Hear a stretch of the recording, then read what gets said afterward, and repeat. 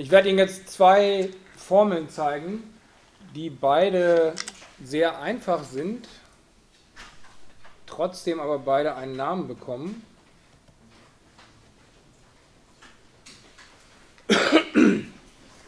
Und Sie werden sich wahrscheinlich zuerst zu Recht fragen, wieso denn solche einfachen, simplen Formeln überhaupt einen Namen bekommen, warum die einen Namen verdienen. Ähm, wir werden sehen, dass die trotz ihrer Einfachheit sehr gut einzusetzen sind für alle möglichen Dinge. Das erste ist der Satz von Bayes oder manchmal sagt man auch einfach Formel von Bayes dazu. Und diese Formel von Bayes bekommt man ganz schlicht und ergreifend dadurch, dass man ein ganz bisschen umformt. Ich schreibe nochmal hin, was wir definiert hatten. Wir hatten gesagt, die Wahrscheinlichkeit, die bedingte Wahrscheinlichkeit für a unter der Bedingung b bekommt man folgendermaßen. Wir bilden diesen Durchschnitt und teilen durch die Wahrscheinlichkeit von b. Das ist einfach nur hingeschrieben, was wir definiert haben. Jetzt erweitere ich, sowas habe ich ja schon ein paar Mal gemacht, ich multipliziere oben und unten mit demselben. Und jetzt schreibe ich das ein bisschen um und ähm, schreibe für, also auf der linken Seite fasse ich den Term links unten und rechts oben zusammen, da steht dann PA durch PB. Auf der rechten Seite steht das hier. Vergessen Sie mal den linken Faktor. Was ist der rechte Faktor? Was steht im rechten Faktor? Genau.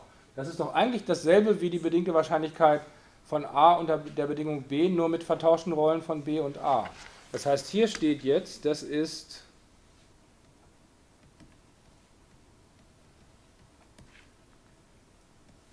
dies hier. Also die Formel von Bayes, das ist schon alles, ist selten schlicht und ergreifend diese Formel hier. Wie ich sagte, das wird Ihnen am Anfang total lächerlich einfach vorkommen. Die man natürlich nur hinschreiben kann, das schreibe ich jetzt nicht extra dazu, wenn beide Wahrscheinlichkeiten PA und PB nicht null sind, sonst kann man diese ganze Teilerei nicht machen. Abgesehen davon ist das aber eine ganz simple Formel. Das Wesentliche, was Sie sich merken wollten, ist, Sie können dadurch sozusagen die Reihenfolge der Bedingungen vertauschen. Sie können aus A tritt ein unter der Bedingung B, machen B tritt ein unter der Bedingung A. Sie können zwischen den beiden bedingten Wahrscheinlichkeiten umrechnen, was wir gleich ein, zweimal machen werden. Also das ist die eine von den beiden, die ich Ihnen zeigen wollte. Wie gesagt, ganz simple Formel. Und das zweite trägt noch einen pompöseren Namen, ist aber auch nur eine ganz einfache Formel. Das ist das Gesetz der totalen Wahrscheinlichkeit. Klingt wahnsinnig toll, ist es aber gar nicht.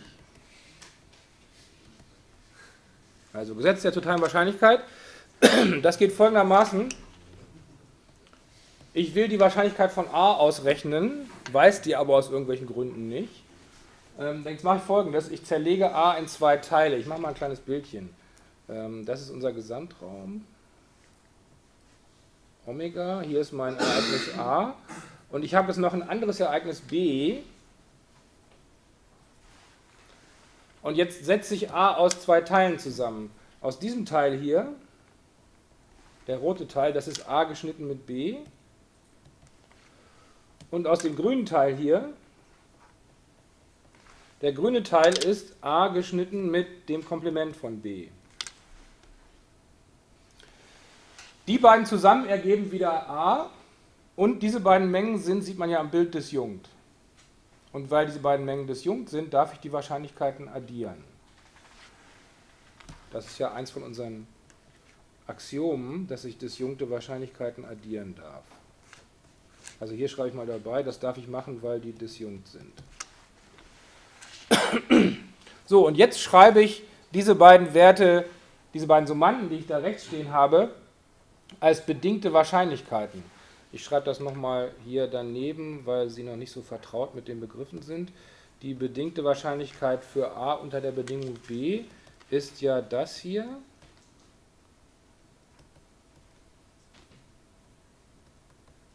Und wenn ich das nach dem, was im Zähler steht, auflöse, dann habe ich dieses hier ist pb mal das hier.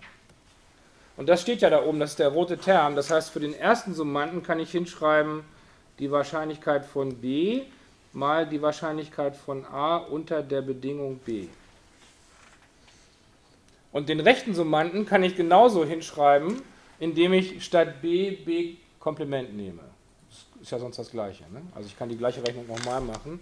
Das heißt, hierfür kann ich schreiben, die plus die Wahrscheinlichkeit für b Komplement mal die Wahrscheinlichkeit dafür, dass a eintritt unter der Bedingung b Komplement.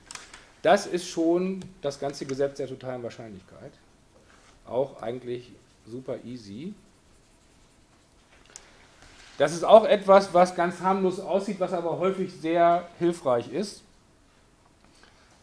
Sie werden häufig Situationen haben, wo Sie die Wahrscheinlichkeit von a nicht so einfach ausrechnen können, aber Sie können a eventuell in Teile, in bedingte Wahrscheinlichkeiten zerlegen und das dann ausrechnen. Man kann das jetzt auch noch ein bisschen ausbauen, das will ich jetzt nicht mehr hinschreiben, aber Sie hätten jetzt stattdessen, so wie wir das hier gemacht haben, statt a in zwei disjunkte Teile zu zerlegen, hätten Sie a auch noch in mehr als zwei Teile zerlegen können dann können Sie dasselbe hinschreiben mit mehr als zwei Summanden. Aber die Idee ist immer dieselbe. Sie zerlegen das in einzelne Teile und nehmen jeweils die Teilwahrscheinlichkeiten multipliziert mit der bedingten Wahrscheinlichkeit. Das wird wahrscheinlich am besten klar, wenn wir uns mal ein Beispiel dafür anschauen. Der Witz an diesen beiden Formeln, der Formel von Bayes und dem Gesetz der totalen Wahrscheinlichkeit, ist nämlich, dass man die so ein bisschen für das Umkehren von Schlussfolgerungen nehmen kann. Wir haben ja eben bei der Formel von Bayes gesehen, da wird die bedingte Wahrscheinlichkeit für a unter der Bedingung b zur bedingten Wahrscheinlichkeit von b unter der Bedingung a. Und sowas machen wir jetzt auch. Und zwar mal wieder so eins von diesen beliebten Kugelspielchen. Wir haben zwei Behälter mit jeweils zehn Kugeln. Und in dem ersten Behälter sind drin ähm, neun rote und eine schwarze. Im zweiten Behälter sind drin vier rote und der Rest sind schwarze, auch zehn ja insgesamt. Und jetzt passiert ein zweistufiger Prozess. Erstens, Sie wählen zufällig einen von den beiden Behältern. Zufällig einen Behälter. Stellen Sie sich vor, Sie werfen zum Beispiel eine Münze, mit dem Sie entscheiden, ob Sie den ersten oder den zweiten Behälter nehmen. Und zweitens, aus diesem Behälter ziehen Sie zufällig eine Kugel. Also Sie greifen da blind rein, nachdem Sie vorher mit einer Münze entschieden haben, welchen Behälter Sie nehmen. Und jetzt haben Sie eine rote Kugel in der Hand. Es kommt raus eine rote Kugel. Und jetzt, wie ich eben schon sagte, Wahrscheinlichkeiten umdrehen. Jetzt wollen Sie wissen, wie groß die Wahrscheinlichkeit ist, dass Sie in den ersten Behälter reingegriffen haben. Wir schreiben das mal wirklich hin und werden sehen, dass wir hier tatsächlich beide von diesen Formeln, die wir eben hatten, auch brauchen. Wir müssen den Sachen jetzt mal einen Namen geben. Also A soll das Ereignis sein, Kugel aus erstem Behälter. Das heißt, dieses ist unser Behälter A und das ist unser Behälter B. B ist das Ereignis Kugel aus zweitem Behälter. Und dann nehmen wir R, soll das Ereignis sein, rote Kugel. So, und jetzt können wir anfangen, so ein bisschen rumzurechnen. Äh, was wollen wir eigentlich haben? Können, wir das, können Sie das mit Hilfe von A, B und R ausdrücken? Die Frage, die ich da unten gestellt habe. Wie groß ist die Wahrscheinlichkeit, wenn ich eine rote Kugel gezogen habe, dass sie aus dem ersten Behälter kommt? Was will ich eigentlich ausrechnen? Das will ich wissen. Das ist meine Frage. Unter der Bedingung, dass eine rote Kugel gezogen wurde, wie groß ist die Wahrscheinlichkeit dafür, dass ich in den Behälter A gegriffen habe? Das kann ich natürlich jetzt nicht so einfach ablesen. Ja? Aber ich könnte jetzt die Formel von Bayes anwenden, die mir sagt, wie ich das ausrechnen kann. Das heißt, ich nehme jetzt die Formel von Bayes.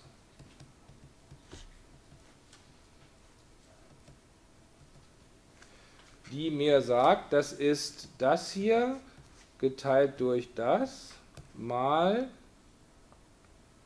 die umgedrehte Wahrscheinlichkeit. So, jetzt gucken wir uns mal an. Auf der rechten Seite stehen jetzt drei Wahrscheinlichkeiten. Ich würde mal sagen, zwei von denen kann man relativ leicht sehen. Wie groß ist die Wahrscheinlichkeit, dass ich den Behälter A auswähle? Ein halb, das ist ja ein Münzwurf. Ne? Also das ist schon mal klar. Diese Wahrscheinlichkeit ist ein halb. Wie groß ist die Wahrscheinlichkeit, die rechts steht als Faktor? die Wahrscheinlichkeit dafür, dass ich eine rote Kugel ziehe, wenn ich in den Behälter A greife.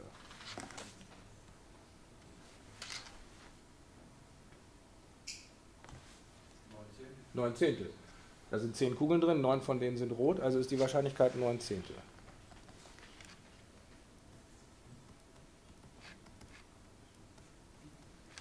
Die Wahrscheinlichkeit dafür, dass ich eine rote Kugel ziehe, ist nicht so völlig offensichtlich. In diesem Fall ist es noch relativ übersichtlich, könnte man auch anders ausrechnen. Ich zeige Ihnen aber mal, wie man diese Wahrscheinlichkeit jetzt mit dem Gesetz der totalen Wahrscheinlichkeit berechnet, weil das ein Verfahren ist, was wir öfter anwenden werden. Also was mir noch fehlt von diesen drei Wahrscheinlichkeiten, ist die Wahrscheinlichkeit dafür, eine rote Kugel zu ziehen. Und jetzt wende ich das Gesetz der totalen Wahrscheinlichkeit an. Und das sagt mir, das kann ich jetzt aufspalten in die Wahrscheinlichkeit dafür in den Behälter A zu greifen, mal die Wahrscheinlichkeit aus dem Behälter A die rote Kugel zu ziehen, plus die Wahrscheinlichkeit in den Behälter B zu greifen, mal die Wahrscheinlichkeit aus dem Behälter B eine rote Kugel zu ziehen. Dadurch wird es nun, es werden immer mehr Wahrscheinlichkeiten ins Spiel kommen, aber es wird nach und nach immer einfacher, weil das jetzt alles Wahrscheinlichkeiten sind, die offensichtlich sind. Teilweise haben wir uns die sogar schon überlegt. Die Wahrscheinlichkeit, den Behälter A zu nehmen, ist ein halb. Die Wahrscheinlichkeit, aus dem Behälter A eine rote Kugel zu ziehen, ist 9 Zehntel, weil 9 von 10 Kugeln rot sind. Die Wahrscheinlichkeit, in den Behälter B zu greifen, ist ein halb. Die Wahrscheinlichkeit, aus dem Behälter B eine rote Kugel zu ziehen, ist 4 Zehntel, weil da 4 von 10 Kugeln rot sind. Das muss ich jetzt nur noch ausrechnen. Das ist jetzt ähm, 29 plus 4 Zwanzigstel, also ist die Wahrscheinlichkeit 13 Zwanzigstel. In diesem Fall, wie gesagt, in diesem Fall ist es nicht so schwer, weil Sie hier auch einfach hätten sagen können, das sind insgesamt 20 Kugeln, davon sind 13 rot, also ist es natürlich 13 Zwanzigstel. Das liegt aber daran, dass es jetzt ein sehr einfaches Modell war, wo beide Behälter gleich viele Kugeln hatten und beide Behälter mit gleicher Wahrscheinlichkeit gewählt wurden. Dieses Gesetz der totalen Wahrscheinlichkeit, was wir eben angewandt haben, hätten wir auch anwenden können, wenn zum Beispiel die Behälter mit einem anderen Losverfahren ermittelt würden oder nicht gleich viele Kugeln hätten und so weiter. Ne? So, und jetzt haben wir das raus, was uns oben noch fehlte, diesen Wert hier. Und jetzt können wir hier oben weitermachen. Jetzt wird das ein bisschen geschmierig hier. Hier muss ich jetzt schreiben die Wahrscheinlichkeit für a, 1,5, geteilt durch die Wahrscheinlichkeit für r, habe ich gerade ausgerechnet, 13 Zwanzigstel, mal die Wahrscheinlichkeit, da oben steht sie noch, die bedingte Wahrscheinlichkeit für r unter der Bedingung a, 9 Zehntel. Und das ist jetzt nur noch Rechenarbeit, dann habe ich also hier im Zähler stehen, also 1,5 mal 13 Zwanzigstel, 20 Dreizehntel mal 9 Zehntel, kürz, kürz, dann haben wir hier 2 und dann haben wir hier 18, ne, die 2 kann ich auch noch weg. Dann haben wir 9 Dreizehntel.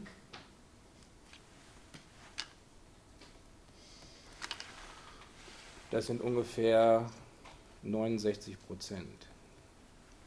Und ich glaube, das ist nicht unbedingt, unbedingt das, was Sie am Anfang gedacht hätten.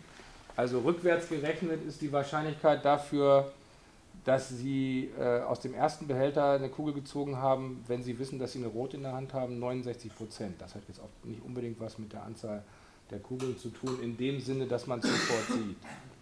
Noch eine Bemerkung, was jetzt hoffentlich schon klar geworden ist durch diese Berechnung hier, aber ich will es nochmal sagen. Ich schreibe mal typischer Laienfehler.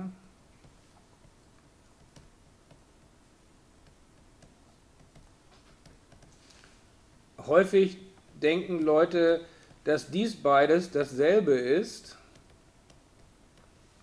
Oder zumindest denken sie, dass das ungefähr das gleiche ist. Also die Wahrscheinlichkeit, die bedingte Wahrscheinlichkeit für a unter der Bedingung b ist ungefähr dasselbe wie die bedingte Wahrscheinlichkeit für b unter der Bedingung a. Wenn wir jetzt nochmal zurückscrollen zur Formel von Bayes und uns die anschauen, also hier oben steht ja noch Formel von Bayes. Wenn Sie sich das anschauen, können Sie eine Bedingung dafür angeben, wann diese beiden bedingten Wahrscheinlichkeiten ungefähr gleich groß sind? Was muss dann passieren, damit sie ungefähr gleich groß sind? Von A muss ungefähr gleich der Wahrscheinlichkeit von B sein. Genau. Diese beiden sind, stehen ja in einem Zusammenhang, sehen wir hier ja. Und der Zusammenhang ist dieser Faktor hier. Und diese beiden sind nur dann ungefähr gleich groß, wenn dieser Faktor ungefähr 1 ist. Sonst können sie nicht ungefähr gleich groß sein. Und dieser Faktor ist nur dann ungefähr 1, wenn die beiden Wahrscheinlichkeiten a und b ungefähr gleich groß sind. Also es ist ein Denkfehler, zu glauben, dass sich die Wahrscheinlichkeit, wenn ich A und B vertausche, die bedingte Wahrscheinlichkeit nicht groß ändert. Das stimmt nur dann, wenn die beiden Grundwahrscheinlichkeiten sich von vornherein nicht besonders unterschieden haben. Sonst kann da alles Mögliche passieren.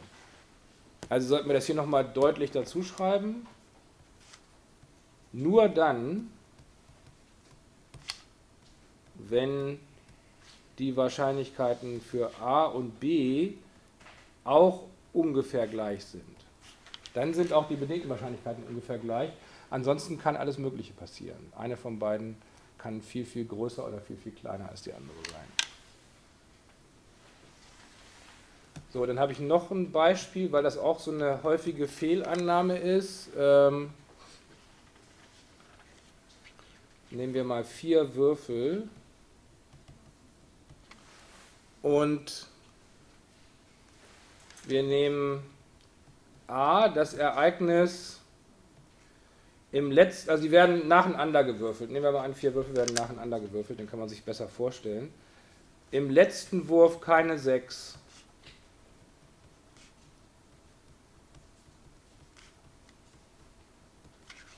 Und B ist die Wahrscheinlichkeit, dass äh, in den ersten drei Würfen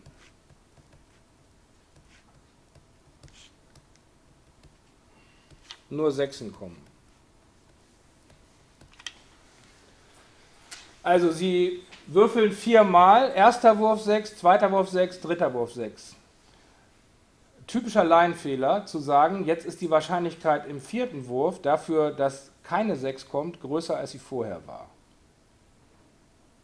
Weil es, ist ja, es sind jetzt dreimal eine 6 gekommen, jetzt kann nicht nochmal eine 6 kommen. Ja, also es muss jetzt mal irgendwann was anderes passieren. Das ist im Prinzip umgekehrt so, wenn Sie beim Roulette-Tisch stehen und da ist den ganzen Abend niemals eine 3 gekommen, dann sagen Sie, es muss irgendwann mal eine 3 kommen. Ja, es wird jetzt langsam Zeit, weil so lange keine war. Und genauso würden Sie hier sagen, es ist jetzt so oft eine 6 gekommen, es muss ja mal was anderes kommen.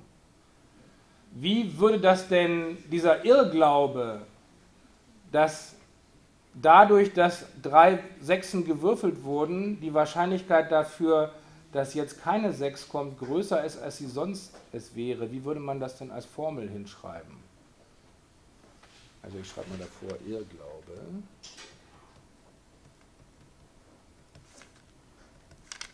Die Wahrscheinlichkeit dafür, also die, die normale Wahrscheinlichkeit dafür, im letzten Wurf keine 6 zu haben, ist kleiner als was? Ja? Genau. Das ist das, was viele Leute denken. Also ohne Zweifel haben Sie sicher das auch schon mal gehört. Wenn irgendeine Sache oft passiert ist, dann muss jetzt mal das Gegenteil passieren. Und dieser Irrglaube, der würde als Formel so aussehen, man glaubt, dass die Wahrscheinlichkeit für A, also die normale Wahrscheinlichkeit dafür, dass im letzten Wurf keine 6 kommt, geringer ist als die dafür, dass nach drei Sechsen keine 6 kommt. Jetzt können Sie das ganz normale Modell hinmachen, vielleicht machen wir das mal, um zu sehen, dass zumindest in unserem Modell das nicht stimmt. Also unser Modell würde ja so aussehen, Omega ist, das haben wir jetzt ja schon ein paar Mal gemacht, die Menge der Zahlen von 1 bis 6 hoch 4 in diesem Fall. Ähm, A wäre das Ereignis im letzten Wurf keine 6, also jetzt können wir wirklich eine Reihenfolge nehmen. Na, die kann ich auch alle hinschreiben, so viel sind es ja nicht. sodass der letzte Wurf nicht 6 ist. Und B wäre das Ereignis 6, 6, 6 und irgendwas aus Omega, oder das kann ich auch anders hinschreiben. x4 ist irgendeine Zahl von 1 bis 6. Die Wahrscheinlichkeit von Omega ist 6, die Mächtigkeit von Omega ist 6 hoch 4. Ähm, was ist die Mächtigkeit von A? 6 hoch 3 mal 5. Ja, das stimmt auch.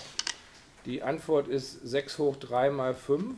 Weil Sie für den ersten, zweiten und dritten Wurf irgendwas einsetzen können, haben Sie jeweils sechs Möglichkeiten. Für den vierten Wurf haben Sie nur fünf Möglichkeiten, also haben Sie 6 mal 6 mal 6 mal 5 Möglichkeiten. Und die, die Mächtigkeit von B ist noch einfacher auszurechnen.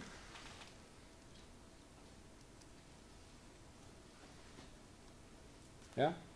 Das ist einfach 6. Weil das Einzige, was Sie da variieren können, ist der letzte Wert x4. Da gibt es sechs Möglichkeiten für. Also ist die Wahrscheinlichkeit 6.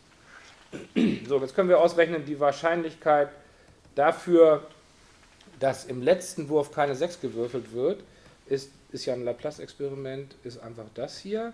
Das heißt, Sie haben 6 hoch 3 mal 5 durch 6 hoch 4, kürzlich 6 hoch 3 weg, also haben Sie 5 Sechstel. Die Wahrscheinlichkeit, die da oben noch steht, die bekommen Sie als das hier. Was unten steht, wissen wir. a geschnitten b müssen wir noch haben. Wie sieht a geschnitten b aus? Das sind alle Würfe, bei denen, weil sie in a sind, hinten keine 6 steht und weil sie in b sind, vorne nur 6 stehen. Das heißt, a geschnitten b sieht so aus. 6, 6, 6, x4 und x4 ist eine von den Zahlen 1 bis 5, in diesem Fall nur weil eine 6 ja nicht zugelassen ist. Dann können wir auch ganz leicht die Mächtigkeit ausrechnen. Die Mächtigkeit von dem Ding ist einfach 5, weil es nur 5 Möglichkeiten gibt. Das heißt, was ergibt sich hier? Dies hier mal 1 durch das. Ne? Und jetzt haben Sie schon gesagt, das links ist 5 durch die Mächtigkeit von Omega. Und rechts haben wir dann 6 durch die Mächtigkeit von Omega, davon den Kehrwert. Ne? Also 6 durch die Mächtigkeit von Omega. Und da kürzt sich die Mächtigkeit von Omega wieder raus, hätten wir gar nicht gebraucht, also kommt hier auch 5 Sechstel raus. Also entscheidend ist, hier kommt 5 Sechstel raus und hier kommt 5 Sechstel raus, was bedeutet, dass das hier nicht stimmt. Das muss aber jemanden, der das da oben glaubt, nicht überzeugen. Wenn jemand glaubt, dass die Wahrscheinlichkeit dafür, dass, weil ganz oft eine 6 kam, dafür, dass jetzt keine 6 kommt, größer ist, dann werden Sie ihn mit sowas nicht überzeugen können, weil der Ihnen sagt, ja, in deinem Modell. Also wir haben, das ist ja ein Modell, was wir gebaut haben. Und in unserem Modell ist das so, aber das ist nur unsere Interpretation. Also da kommen wir wieder an die Stelle, die ich schon ein paar Mal erwähnt habe. Wir benutzen ein mathematisches Instrumentarium, das sich in vielen Fällen als sehr hilfreich herausgestellt hat und äh, ich bin fest überzeugt, dass das richtig ist. Und es würde vielleicht helfen, wenn man mit irgendjemandem, der sowas glaubt, einfach mal 20.000 Würfelvorgänge simuliert oder sowas. Aber Sie können mit solchen mathematischen Argumenten jemanden nicht überzeugen, der sagt, ich habe einfach eine ganz andere Vorstellung von der Wahrscheinlichkeits, von, von Wahrscheinlichkeit.